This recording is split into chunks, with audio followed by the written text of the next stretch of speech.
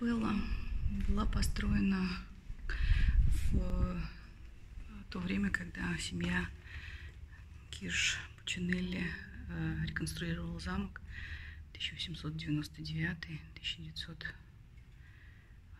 э, годы. Освящена в честь святого Себастьяна, покровителя э, людей, имеющих дело с железом, кузнецов.